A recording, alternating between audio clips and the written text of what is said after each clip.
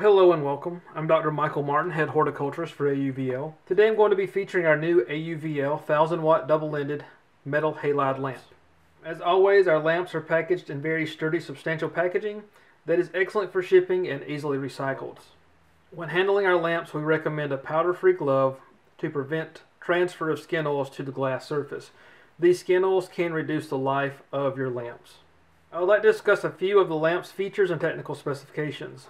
The full spec sheet is available on our website, auvl.de, which I will provide a link to in the video description.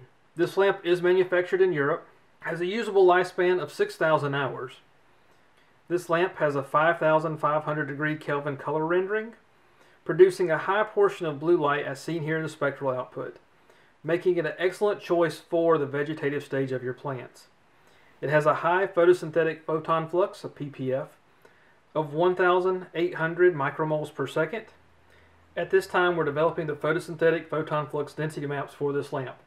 Once they're complete, I will update the video with the test results.